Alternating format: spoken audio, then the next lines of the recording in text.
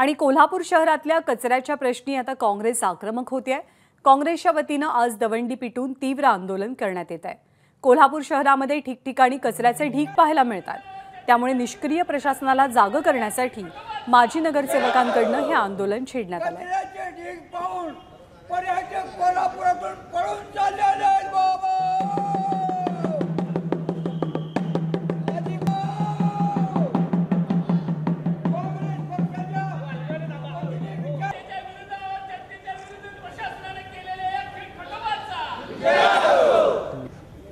कचऱ्याचे ढीग पाहून पर्यटक कोल्हापुरातून पळून चाललेले आहेत बाबा.